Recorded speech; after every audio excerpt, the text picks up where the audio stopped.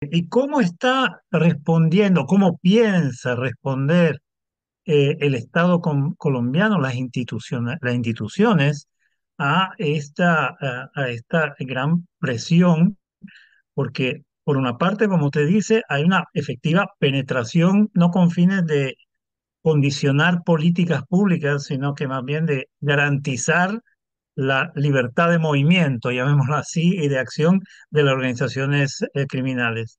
Eh, eh, por otra parte, también usted mencionaba el tema carcelario, ¿no? Efectivamente, estos jefes y, y, integrantes de las organizaciones criminales que están en la cárcel gozan de, de márgenes, digamos, de libertad o de movimiento interno eh, bastante, eh, bastante importante. Incluso el, el, fito, eh, la, la evasión, pasaron muchas horas antes que se, que, se aclarara que, que, que si se fugó, que si no se fugó, como que había un escaso control, incluso de, dentro de las cárceles sobre la presencia y la acción de, de esos criminales. Entonces, frente a todo esto, el Estado, ¿cómo está respondiendo? ¿Qué proyecto tiene Novoa?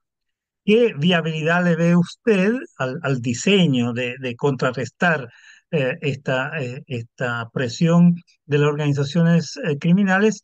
Y también cómo se, se posiciona la, fuerza de oposición, en particular la izquierda, que todavía se inspira y está inspirada y, y orientada, digamos, por el anterior presidente Correa. A ver, eh, quizás un, par de cosas. Eh, uno, eh, respecto a las, las políticas oficiales. Eh, salió, como les comentaba hace un momento, este gran operativo de la Fiscalía denominado Metástasis, que yo creo que legalmente ha caminado. Pero frente a eso, eh, ¿qué política está planteando? Pues ninguna, ninguna. Por ejemplo, eh, ¿qué se está haciendo para reformar la policía para que no vuelvan a haber estas, estas personas ahí adentro? ¿Qué se está pensando en la justicia para que eh, no haya la corrupción, para que no haya la intimidación, para que no haya la cooptación? Pues no, no se conoce nada. Eh, yo creo que Metástasis nos mostró lo que conversábamos hace un rato, pero frente a eso lo que se esperaría es que haya políticas explícitas para reformar estas instituciones en términos de hacerles más eficientes y que sean menos corruptas y que puedan tomar las decisiones que corresponden. Por ejemplo, en uno de los chats que se difunde, que difundió la Fiscalía, se ve a eh, uno de estos cabecillas que, que fue asesinado, eh, Norero, de conversar con una persona para definir candidatos a concejales y para definir candidatos a alcaldes. ¿Qué ha, qué ha dicho el Consejo Nacional Electoral frente a eso? Pues nada. Nada, absolutamente nada.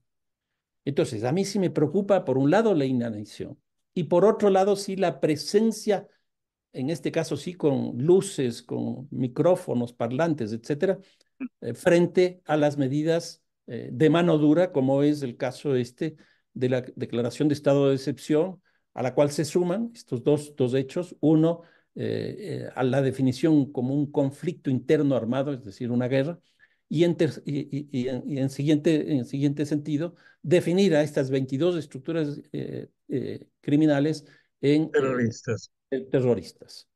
Es, eso es básicamente. Ahora, ¿cómo ha reaccionado frente a esto la institucionalidad pública? Ayer salió por parte del Parlamento, de la Asamblea Nacional, un acuerdo unánime de apoyo al presidente de la República. Y no solo es la Asamblea, son otras instituciones otros municipios. Y no solo son instituciones, son los partidos políticos también. Y ahí hay, por ejemplo, la declaración del propio expresidente Rafael Correa, que se suma también a esto. Aquí lo que me ha llamado la atención más bien es eh, el estatismo o, o, el inmovilismo, más bien dicho, del presidente Novoa, porque yo lo que hubiera hecho es salir inmediatamente a pedir la unidad nacional para enfrentar esto. Y no solo pedir la unidad nacional, sino invitar a que algunas fuerzas políticas se incorporen al ejercicio de gobierno. ¿Y esto por qué? Porque en febrero de este año, es decir, en escasas semanas, se convocan a elecciones presidenciales. Porque nuestras elecciones de presidente y del parlamento van a ser en febrero del próximo año.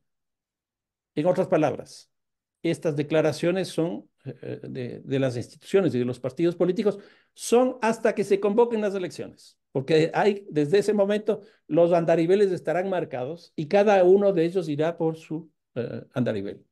Si el presidente logra hacer esto que yo les digo, pues lo que estaría es comprometiéndoles mucho más y probablemente empezaría lo que podría ser una especie de concertación para las elecciones del, próximo año.